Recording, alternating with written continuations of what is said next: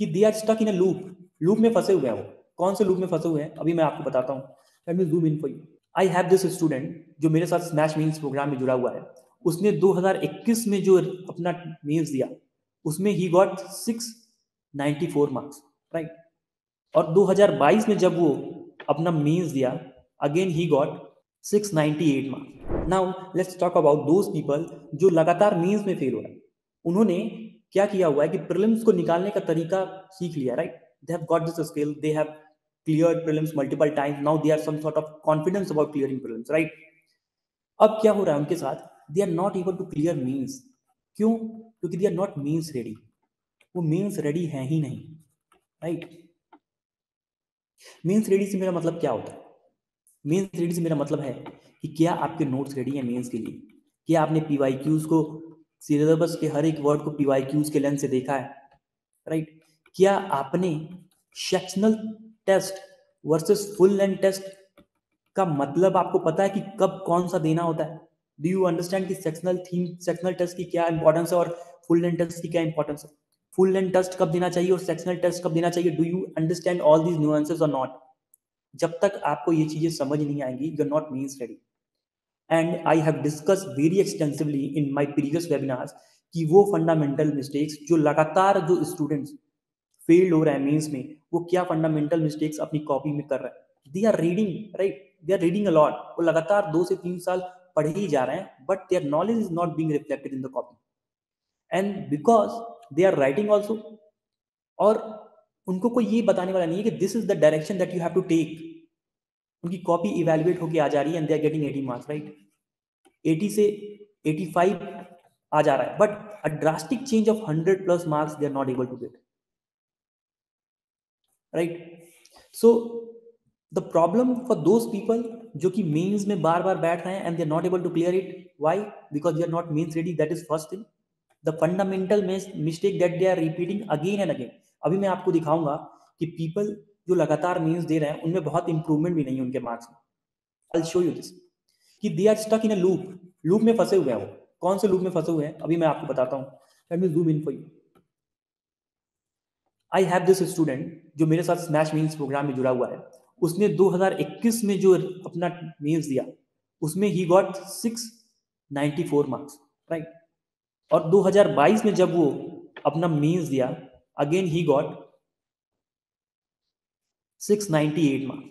2022 और ये 2021 राइट सिर्फ़ और सिर्फ़ चार मार्क्स का अंतर है। I can't show you the name because for the obvious reason I can't disclose the name means what? There's no improvement at all. Why? Because he is doing the same fundamental mistake again and again. वो loop में फंसा हुआ है। Loop में फंसा हुआ है। Again this prelims वाला रूप अगेन आप लूप में फंसे रहते हो दिसंबर में आपका रिज़ल्ट आता है, फिर आप इमोशनल टर्बुलेंस में गुजरते हो राइट जनवरी में अगेन आप मेंस के लिए रेडी होना शुरू करते हो, आप अपना ऑप्शनल तैयार कर रहे हो एथिक्स थोड़ा पढ़ रहे हो।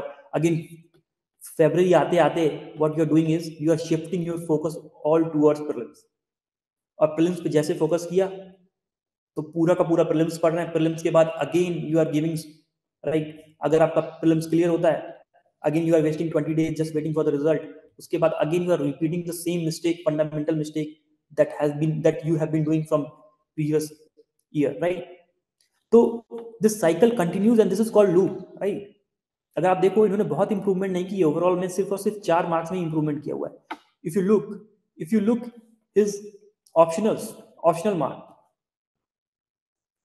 If you look at his optional mark, यहाँ देखो आप इनके ऑप्शनल मार्क सौ और एक सौ बीस से यहाँ कितने हैं? एक सौ अड़तीस और एक सौ सोलह। One thirty eight and one one six इसने सिर्फ़ और सिर्फ़ अपने ऑप्शनल में ही इंप्रूव किया है। उसने अपने जीएस में हर जगह ये डाउन हो गया almost all subjects right I'll show you other mark sheets too. I'll show you other mark sheets too. Again, see this. 697. What this people are doing is कि वो लगातार मेंस तो दे रहे हैं राइट अगर आप देखो ये ये, दूस, ये दूसरे लोगों की मार्कशीट है। अनटिल अनलेस अगर आप मीन्स में 800 नंबर के ऊपर नहीं जा रहे हो ना तो लिस्ट में नाम भूल जाओ। राइट अगर आप मीन्स में 800 नंबर के ऊपर नहीं जा रहे हो लिस्ट में नाम भूल जाओ। अगर साढ़े आठ सौ या नौ सौ के बीच में नंबर नहीं ला रहे हो तो रैंक भूल जाओ। You are out of the game also right this is the thing that is what इन लोगों के साथ क्या हो रहा है? They are stuck in a loop right they don't know कि what fundamental mistake they are doing और उनकी पूरी की पूरी फंडामेंटल मिस्टेक्स थे। मैंने पूरी की पूरी एक वेबिनार बना के दी हुई है, पिछली वेबिनार आप उनको जाके देख सकते हैं राइट सो लेट्स डिस्कस कि क्या फंडामेंटल वो कर रहे हैं। ये एक लड़के की कॉपी है, जो कि दो से तीन बार मीन्स लिख चुका है। सॉरी ये तीसरी बार मीन्स लिख चुका है, तीन बार right now read the question with me question है कि substantiate your view with that Indian constitution is the hallmark of rigid and flexible constitution ठीक है? How rigidity and flexibility has help the Indian constitution for more than seven decade while many other decolonized countries have either replaced or subverted their respective constitution. Now, this is the question in front of a student who has three means और उसको वो कैसे लिख रहा है right now I tell you the theme of the question is कि the nature of the Indian constitution does it rigid and flexible nature of the Indian constitution our right this is the theme of the question you have to tell in the introduction that our constitution is blend of rigidity and flexibility right? Now the demand of the question is how rigidity has helped the indian constitution? This is demand one. Second demand is how flexibility has helped the indian constitution? This is demand two. And while and third demand is ki many other decolonized countries have subverted or replaced their constitution. This is demand three. You have to give examples here. Now you understood the theme and demand of the question right तो I always have set कि theme को introduction में लिखो। Now this is the introduction given by a student I I would say this is a good introduction but क्या हो सकता था इसमें और अच्छा?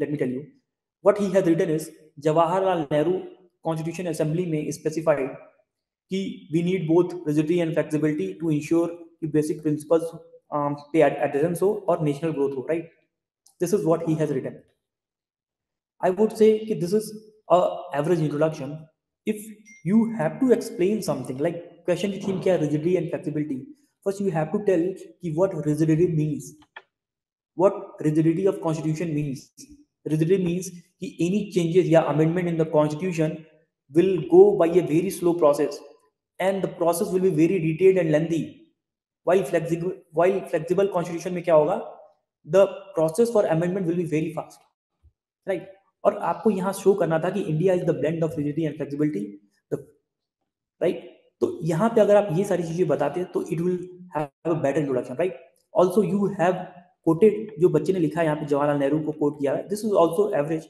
but I would say कि इससे और अच्छा आप कर सकते थे। नाउ अंडरस्टूड इस बच्चे ने किया क्या हुआ है। What he has written is कि Indian constitution hallmark of rigidity ये मैंने पूछा ही नहीं है question the demand of the question is how rigidity and flexibility have have the Indian constitution यानी कि यहाँ हेडिंग क्या नहीं आनी चाहिए थी? How rigidity has help the Indian constitution right this is the demand one कि how rigidity has help rigidity होने से क्या हुआ है? The interest of states are protected because of the rigidity of the constitution you know seven schedule को अगर amend करना हो तो you the parliament has to take consent of 50% of the states, right? So this is how the interest of states has been protected by the rigidity of the constitution. Basic principles of the constitutions are protected. For example, secular nature. Why? Because these are the basic structure of the constitution and these can't be amended as per the case Ananda Bharti case, right? So did you see कि इसके structure में क्या कमी है? Heading is not in the tone of the question, right? Again, if you see कि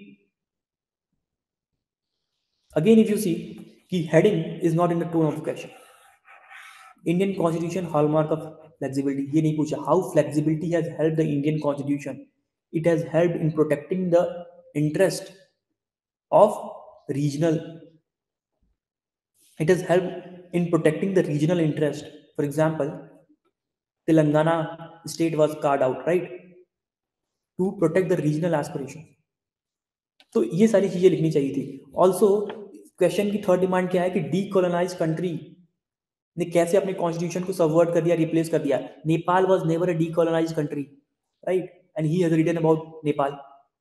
So somebody has to tell him कि कैसे what mistakes that he is doing even after giving multiple means attempt there are some mistakes in his copies कि जिसको वो improve करेगा तो उसके marks definitely improve हो जाए right so what he's Nepal replaced its constitution the, the question has specifically asked question में पूछा हुआ है कि tell me the decolonized country Nepal was never colonized right so these are the mistake those people are doing जो कि mains में लगातार attempt दिए जा रहे हैं और they don't know what the fundamental mistake that they are doing right तो these are the mistakes that they are doing right